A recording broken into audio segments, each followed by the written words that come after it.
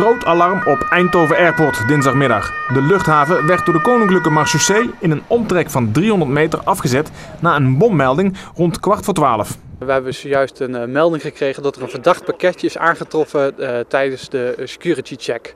Daarbij uh, wordt bagage gescand en uit die scan is gebleken dat er een object in de koffer aanwezig is waar we niet kunnen plaatsen.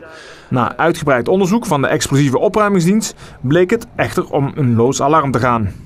De ontruiming begon rond kwart voor twaalf en verliep snel. Maar veel reizigers liepen lange vertraging op. Where did you want to go today? Actually back home for the Christmas. And where do you come from? Uh, from Riga, from Latvia. First we heard that uh, there was a misunderstanding uh, on trains because of the snow. Now there is a bomb alarm in the airport. So we are stuck here for now. Wij vliegen, zouden pas met tien voor vier vliegen. We hebben de auto nu ergens geparkeerd waar, nou dat moeten we even zien. En we dachten, we nemen ons bagage maar mee en zien we wel. Want we willen toch wel erg graag naar Rome met kerst. De passagiers van drie inkomende vluchten werden opgevangen op het militaire gedeelte van de vliegbasis. In totaal werden zo'n duizend personen uit de passagiersterminal geëvacueerd, waarvan sommigen zelfs uit het vliegtuig. Uiteindelijk werd het gebied rondom het vliegveld rond half drie vrijgegeven en konden de reizigers de terminal weer betreden. De stemming onder de passagiers zat er ondanks het lange wachten goed in. Niet leuk.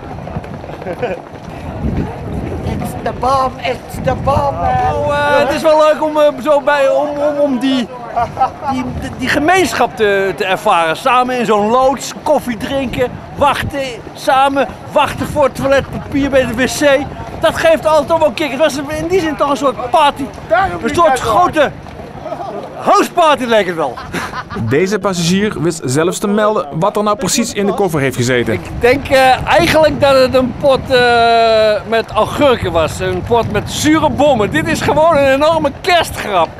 En laten we hier elkaar niet lopen opfokken en bang maken. Dit is gewoon een kerstgrap. En we zijn er allemaal ingetuind en we hebben toch een leuke, leuke dag. Hey, het beste.